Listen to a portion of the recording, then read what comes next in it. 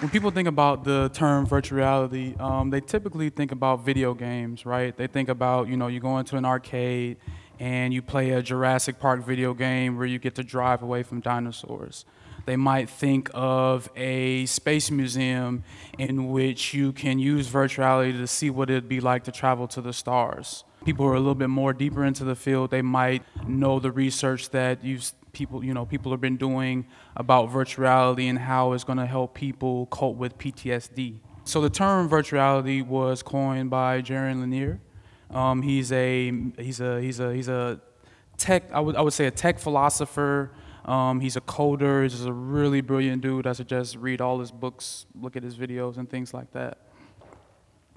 And so when we think about human history, technological, the technological advances that have been happening have been happening at a very blistering pace. So when the phone service was first uh, built, it actually was a service only for elite families in eastern cities. Thinking about now, you know, how could people back then even imagine that today the average person would have a computer in their pocket, right? So technology, you know, technology kind of happens at a blistering speed. And so when we're thinking about you know VR, really need to think about its potential for to you know to become a kind of everyday occurrence in our lives. And so typically the areas that happens in is shopping, right? So shopping and customer service. So that's why I wanted to talk about virtuality in customer service. And so while right now virtuality is still, you know, it's somewhat still of a luxury tech, um, there have been estimates that in the year 2020, about 14 billion sales and softwares will happen in the realm of virtuality. So it's it's coming. It's not something that's even you know a distant future. It's just a couple years from now, and we're really going to start seeing it move into the kind of commercial space. And so there's already some examples of uh, virtuality that's um, already out there. So IKEA actually has a virtual store. Alibaba, which is the, the, the, the Chinese version of Amazon, they have a virtuality store. Samsung and Audi actually combined to do a uh, virtuality where you can test drive their cars. Um, so you know these things are coming in. The benefits of virtual reality are somewhat self-evident, right? And that kind of goes with all technology. Um, the benefits of technology is not exactly a hard sell. It's more, you know, um, you know, take my money now. When we think about the benefits of VR in the customer service realm, you know, people could, for example, try on clothes without leaving their house. People could see the dimensions of a, spe a specific product. So let's just say you were purchasing a bed, right? You could see the dimensions of the bed and then map it to the room in your house. That saves you a lot of time. It saves you a lot of measuring, right? You, and it saves you, you know, if you forgot to measure and you go to the store and they say, okay, how big is your, you know, your room?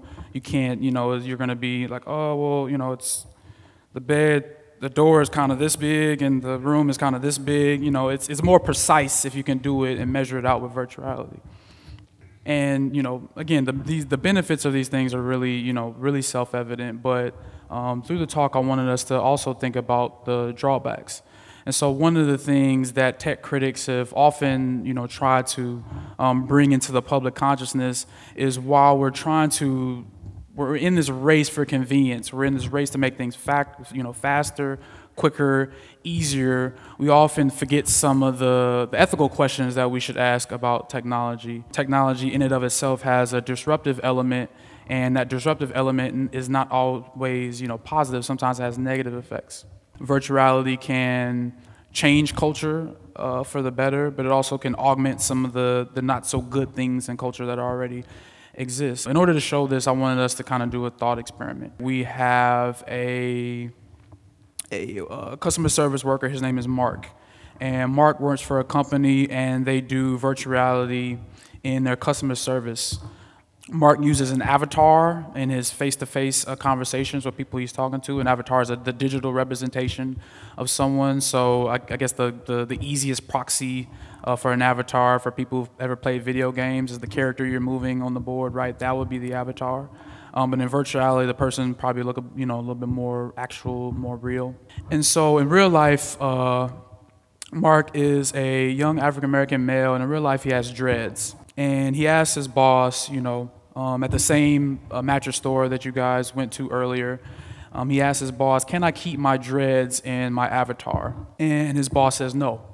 His boss says, You know, in real life, you can keep your dreads, but in terms of your virtual uh, representation, you need to cut off your dreads. You need to have a, a more, um, you know, and I'm sure they can kind of dress up the language, but they'll probably say a more presentable um, image, right? So what is Mark supposed to do? What is who who who is Mark supposed to, you know, uh, air his grievances to?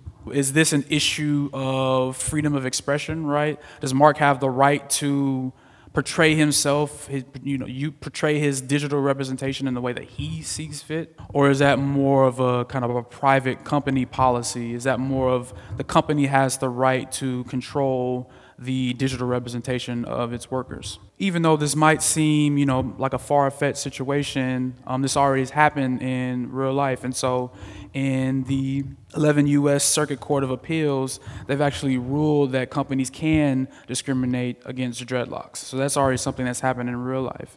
And so how does that manifest itself into the digital space? And again, that's already, you know, that's a, that's a kind of a heated debate that would be happening if, you know, in the case of Mark, that were actually to happen. But we can think of even, you know, more kind of heated issues where that might be prevalent. So, for example, let's say you are a woman and naturally your hair is black or brunette or maybe a dark brown and let's say your boss says your avatar in in order to you know work here your avatar needs to be a blonde because we've done you know research and it says that people just like buying stuff from blondes more than they do people who are brunette. What if you are a muslim or a sikh worker and your employer says that you cannot wear your head car your your head uh, you know your traditional head scarves in the virtual world. You know what do you do? What if you are an overweight worker and your employer says that in the digital space you need to present yourself as physically you know conventionally fit?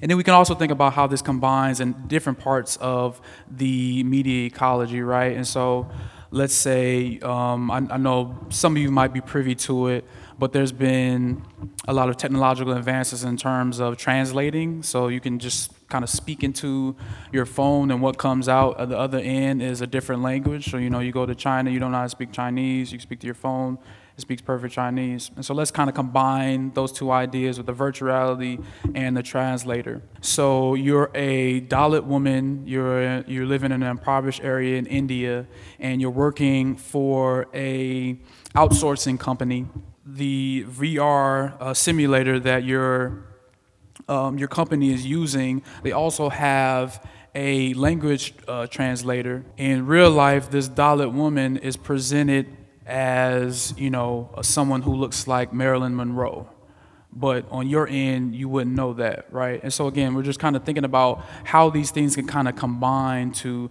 augment some of the, the biases in society. And so I just wanted to bring that up as to, to caution people. Um, in my media literacy classes, um, we talk about the idea of techno fundamentalism.